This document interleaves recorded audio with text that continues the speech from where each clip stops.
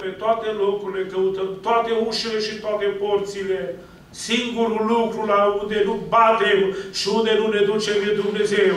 Și acolo apelăm în ultimă instanță când medicii ne trimit acasă. Când spun, nu se mai poate face nimic. Și atunci mergem la Dumnezeu ca la o cârjă pe care o luăm în vremea aceea. Nu-i corect asta. E corect să-i spui lui Dumnezeu toate problemele tale.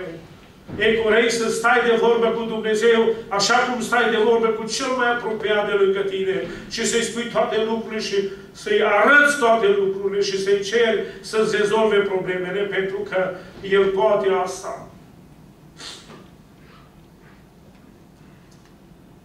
Dacă veți găsi pe paginile Sfintelor Scripturii oameni care au fost trimiși din fața Domnului sau pe care Domnul i-a trimis fără să le asculte rugăciunea și să le rezolve problema. Dacă găsiți unul dintre aceștia, așa să spună dimineața aceasta, că poate să fie în locul acesta unul sau doi sau zece care să nu primească rezolvare din mâna lui Dumnezeu.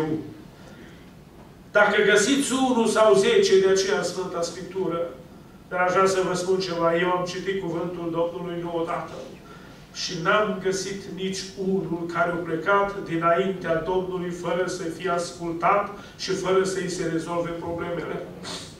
Nici unul. Pentru că Dumnezeul nostru este un Dumnezeu plin de milă și spune Cartea Evreilor, îi este milă de noi. Îi este milă de noi. De aceea dimineața aceasta, dragii mei, aș vrea cu toată îndrăzneala să venim înaintea Lui ne rugăm lui Dumnezeu așa cum stăm. Petrecem minutele care au rămas până în jurul orei 11 în rugăciune. Ai probleme în familie, nu știu lucrul acesta. Ai probleme în familie, ia soțul de mână și vin aici în față. Nimeni nu știe ce probleme ai tu. Ai alte situații în familie, vin aici în față cu soțul tău de mână și cu copiii dacă vrei și ne rugăm lui Dumnezeu pentru tine. Te punem în mâna lui Dumnezeu și cerem ca Dumnezeu să rezolve problemele cu care te confrunți. Dacă nici El nu o face, aș vrea să spun ceva, nimeni nu o va face.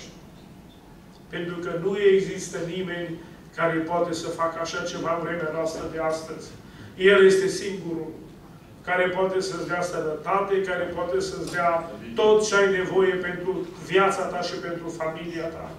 Poate să-ți dea tot ce ai nevoie. Depinde dacă stai înaintea Lui, dacă ceri lucrul acesta și dacă e sincer înaintea ta și în umblarea ta cu Dumnezeu. Ne rugăm, Domnule, așa cum stăm în picioare.